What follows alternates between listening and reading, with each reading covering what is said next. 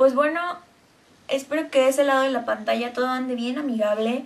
Y como ya habrán leído en el título del video, aquí vamos a convertir unos shorts antiguos viejos, vamos a reutilizarlos y darles como que un toque de animal print de leopardo.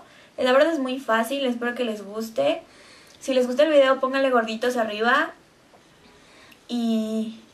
suscríbanse para que les llegue mi próximo video. Además compártanlo con sus amigos, eso me hace muy feliz que compartan el video con sus demás amigos y pues bueno, vamos a ver qué necesitamos. Lo primero que necesitamos es el shirt el cual vamos a pintar. Pinturas, yo voy a utilizar dorada, cobre y negra. Las pinturas que te utilices debes de fijarte que sean especiales para tela. Si no sabes en dónde conseguirlas, en esos lugares en donde venden telas, obviamente las venden y en mercerías. También necesitamos un pincel, periódico para evitar hacer un tiradero y esto es opcional. Si tienes alguna prenda que tenga estampado de animal print, las puedes utilizar para que te sirvan de guía y así vayas viendo cómo hacer, hacerlas en tu shirt. Así es que bueno, vamos a comenzar. Bueno, lo primero que hicimos aquí es meter periódico en ambos lados para evitar que se pase a la parte trasera lo que vamos a dibujar en la parte de adelante. Después, ya que tenemos un poco de nuestra pintura, que es la color cobre, con ayuda de nuestro pincel Vamos a empezar haciendo manchitas. No tienen que ser manchitas perfectas, porque pues los leopardos no tienen las manchitas perfectas. Pueden ser así. Tienes que dejar echar volar tu imaginación.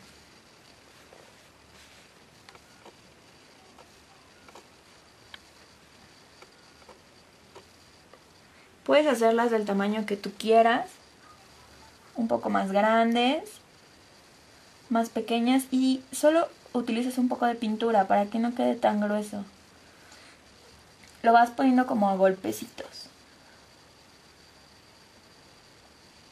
Si, te fijas, no son manchas perfectas o círculos perfectos. Esto es lo que les va a dar la imagen de que son manchas de leopardo.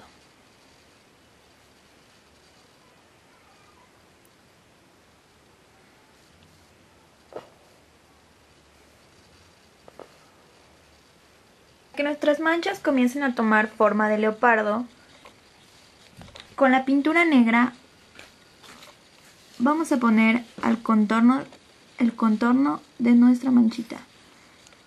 Pero no tiene que ser a la totalidad, solo un poco por encima y por abajo. Así. Aquí va otra. Un poco por aquí por abajo. Son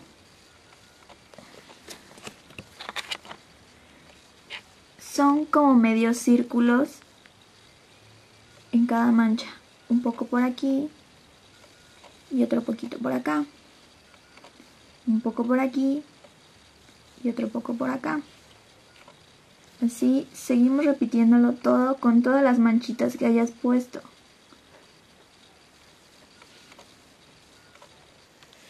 Una vez que hayas puesto todas las manchas como quisiste y le hayas dado el estilo que tú querías, puedes poner muchas manchas, no puedes poner tantas, así como yo, así quedó el mío y como pueden ver también puse algunos puntitos en los espacios en blanco para que no se vea tan vacío.